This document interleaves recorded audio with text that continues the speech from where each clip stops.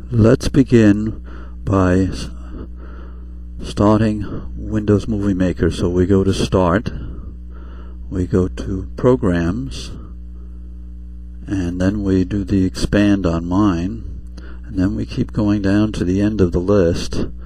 This one happens to be in alphabetical order, and we have to go down further, and here is Windows Movie Maker.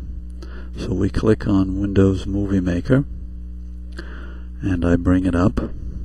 It is up here, Windows Movie Maker. Let's just check to see that it is. We go to About Windows Movie Maker so we can see what version. It is version 2.1. We'll click on OK. Now what I like to do is open up where my videos are that I want to combine and they're in my documents within my documents they're within my videos and within my videos I have several down on the bottom here that I can combine that are short. I have this one here which is 26 seconds.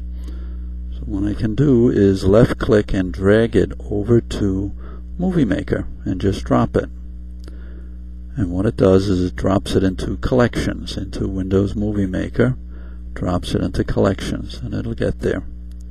Let's come back over to my uh, my videos, and we'll take the second clip, which is, eh, let's just duplicate the first clip here, it doesn't matter.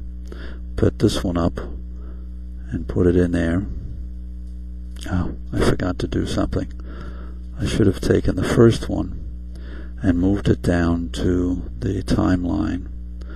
And if you were combining two clips, you could go and do, you know, bring it over and then just bring this one back down next to the other one. And now you have two movie clips here.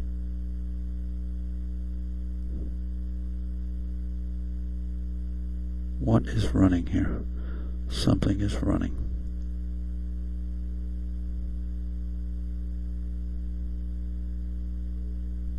Something's running and taking all of the processing power here. Alright.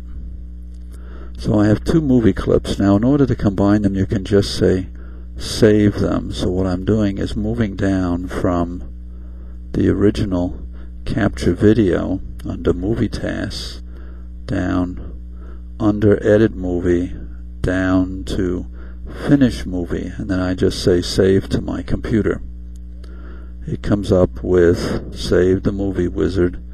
Enter a file name. You could change this name to be whatever you want. I'm going to leave it.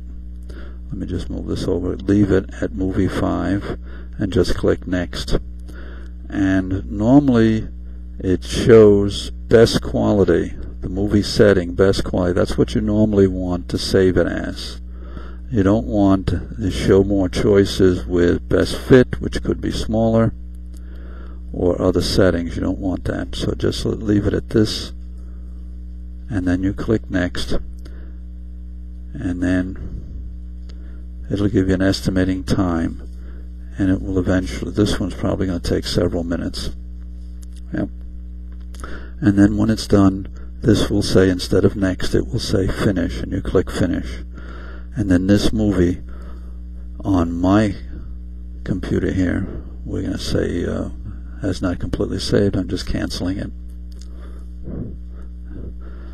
This will be saved within my videos. It would be saved here and it would be the last one presented here. After this one it would just put it here. That's where you would find it. And that's the end of this video. So we'll stop it.